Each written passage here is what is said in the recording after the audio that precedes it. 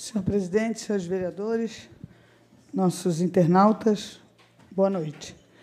É, bem, senhor presidente, primeiramente, não poderia deixar de também mencionar e parabenizar a todos os festeiros é, pela organização, a, a, brilhante organização da festa do Divino Espírito Santo, né, uma cultura nessa cidade já de muitos anos e que mais uma vez se evidencia no cenário das festas do nosso município. Parabéns então a todos os festeiros, todos os envolvidos nesse grandioso evento.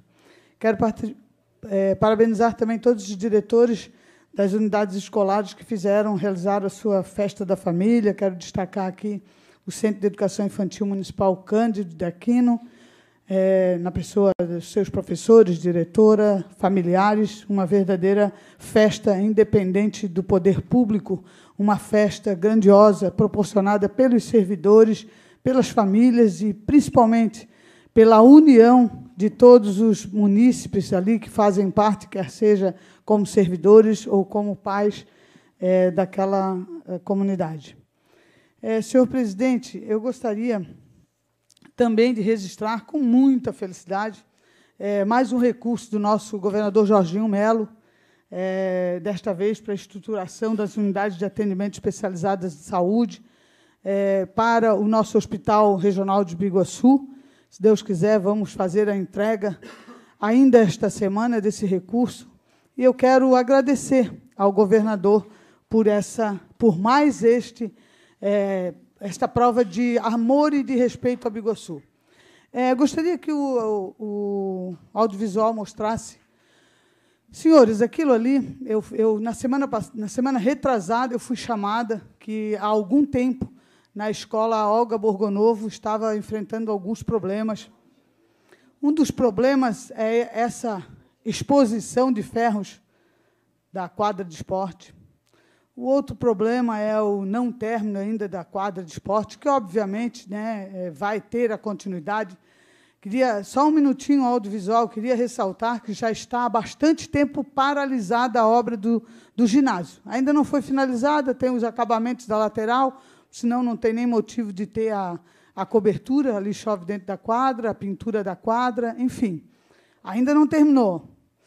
É, é um dilema, infelizmente, continua o dilema. Queria ressaltar também que há bastante tempo, pode passar ali, há bastante tempo tinha uma fossa a céu aberto, Quero aqui ressaltar e agradecer aos pais que me chamaram e a gente registrou, já registramos nessa casa através de requerimento e registramos também nas redes sociais.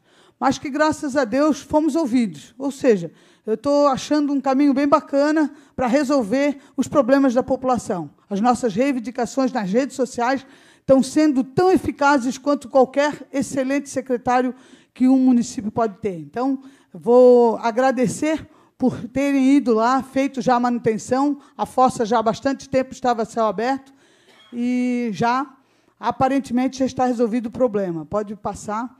É, essa é uma outra situação de uma ponte, né, que infelizmente está bastante danificada, é, lá de Sorocaba. Tem bastante reclamação. É, tem, há uma promessa de restauração é, na realidade, reconstrução né, dessa ponte, mas até o momento é só uma promessa. Fica aqui o nosso registro, já está na casa também, é a ponte lá do Tibica, né? Já está o nosso registro também através do, do, do oficialmente através do requerimento e fica aí também é, o nosso audiovisual mostrando que realmente precisa dessa atenção urgentemente. Fica aí o pedido ao prefeito. Queria também mostrar um vídeo é, é uma educação de qualidade, a gente está em busca, vereador Fernando. Já há bastante tempo a gente mostrou na Casa Legislativa um pedido é, salientando os grandes problemas que tem na escola Donato. Olha só os buracos que tem nas calçadas. Isso hoje, o vídeo é de hoje. As borrachas soltas, o lixo ali é, no acesso, janelas quebradas, vidros quebrados, não são janelas apenas, vidros quebrados é, vidros e vidros quebrados, vidros dentro de sala de aula quebrados, senhor presidente. Hoje, senhor presidente, é, lamentavelmente, mais vidros quebrados, não é só um, são vários dentro de sala de aula, nos corredores. É, tem a legenda, no vídeo tem a legenda de tudo. Só mais um minuto, senhor presidente. Depois eu vou dar a parte para o vereador Fernando, que ele solicitou, tá, presidente? É, fezes de pombo no lado da biblioteca. Isso é um centro de alfabetização, está ali até, está feito o vídeo na data de hoje, inclusive está no quadro lá, dia 5 de junho de 2023. Mais vídeos quebrados. Só nessa sala tem três vídeos quebrados, senhor presidente. A fiação solta também. É, esse pedido a gente já tinha feito em março, para dar uma reparada em toda, em toda a estrutura aonde estava sendo implantada a escola Donato. Então, senhor presidente, é, concedo a parte do vereador Fernando, que já havia pedido, por favor. Estava passando o vídeo. Já do vereador Saleto pela parte. É, Donato, onde está localizado, lá no prédio da Univale, que hoje é cedido para a prefeitura, a gente já vem cobrando muito a maneira que, que as crianças estão locadas lá. A gente sabe que é provisório até o colégio ficar pronto, a reforma.